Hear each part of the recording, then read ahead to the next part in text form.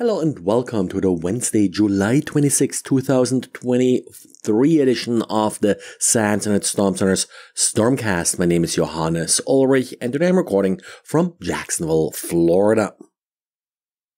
Today, let's jump right into currently exploited vulnerabilities. Ivanti published an advisory regarding its Ivanti Endpoint Manager Mobile, formerly known as Mobile Iron Core, fixing a vulnerability CVE 2023 35078 with a perfect CVSS score of 10.0.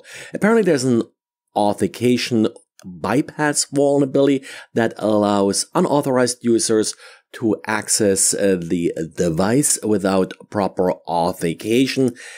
The problem here is that this is already being exploited. Norway released a press release saying that uh, they had 12 of the ministries in their country compromised by this vulnerability.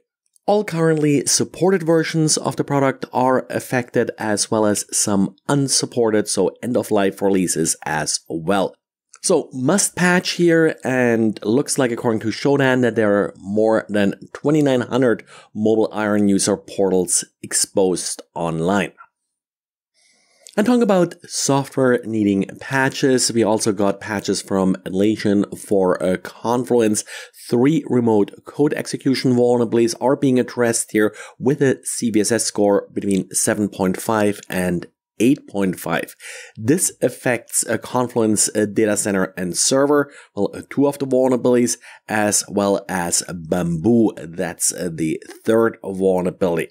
Now, the reason uh, these vulnerabilities have uh, not sort of a critical CVSS score is that they do require authentication. However, once the attacker does have any credentials that work for the particular server, they are able to execute arbitrary code.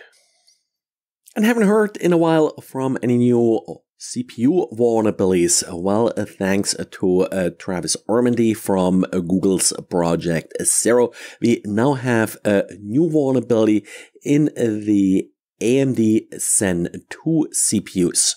The problem here is yet again related to speculative execution where we may have a certain data and commands staged in the CPU that's uh, then not being used, but also not completely deleted, which may leak the data to other processes. And by being very creative in how you are scheduling your tasks, you can actually trigger this vulnerability and with that gain access to memory from a different process that you're not supposed to have access to.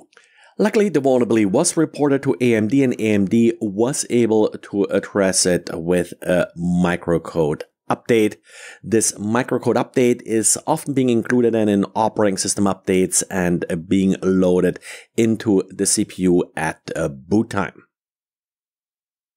And VMware patched an interesting vulnerability in the VMware Tanzu application service for VMs. Uh, this is sort of one of those you know, interesting oversights in that the vulnerability causes admin passwords to be logged. So the problem here is that the admin password will show up in logs in the clear and well, other users that are not administrators may have access to these logs. The trick here is that yes, there's a patch available and you should apply the patch for this vulnerability. By the way, it's CVE 2023-2891. However, just uh, patching the vulnerability may not really be enough here because, well, you already have this password leaked all over your logs. You may want to, first of all, check if it's there, uh, but even if you can't find it right away, there is a support document from VMware about how to update your user accounts. And that's highly recommended here because again, you may not necessarily know where that password ended up. Well, and that's it for today. Sorry for being a little bit heavy sort of on vulnerabilities, but had some catching up uh, to do with all the vulnerabilities being released uh, lately. Thanks for listening. Please recommend this podcast uh, to your friends. Leave a comment uh, at your favorite podcast platform, or at the very least, just you know, click on that five star rating. Thanks and talk to you again tomorrow. Bye.